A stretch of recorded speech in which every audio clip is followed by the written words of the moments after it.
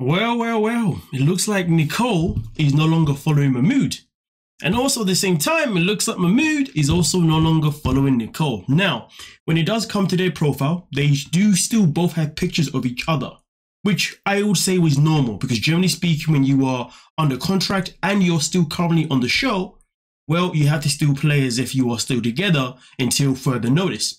And at the end of the day, you know, when it comes to unfollowing each other, that's not necessarily something that would be a big deal in terms of breaking contract because really and truly, people would only ever know that you two aren't together. But well, the only time, let's look, let's look at it this way.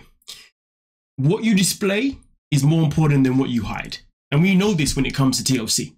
There's a lot of people hide a whole lot of things until, of course, everybody on Reddit, YouTube, bloggers, Instagram, then dig up some dirt and then find out the truth. So really and truly, them unfollowing each other isn't something that I would consider as breaking contract. And also on top of that, we've seen this before with other people in the past where they've unfollowed each other throughout the season, but have still kept the appearance of pictures and everything pretty much still alive. So therefore, people don't think that they're broken up just yet. So if you ask me personally, based on what we've seen so far, it is quite evident that these two are broken up. And to be fair, even based on the fact that Mahmoud posted himself being in Egypt, also pretty much gave us that confirmation as well. And also based on the last episode, the last two episodes, shall I say, they've had a breakup after breakup. So really and truly, I reckon them two now unfollowing each other is the first step of pretty much saying, hey, we are done, we are dusted, and we are over.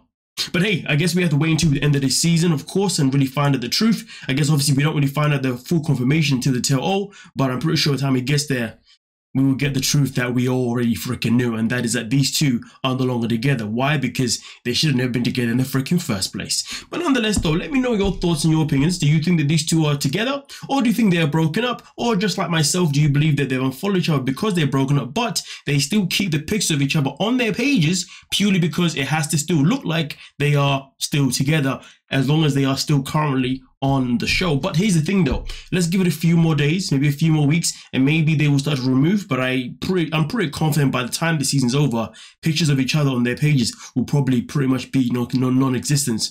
But um, I guess we have to wait and see.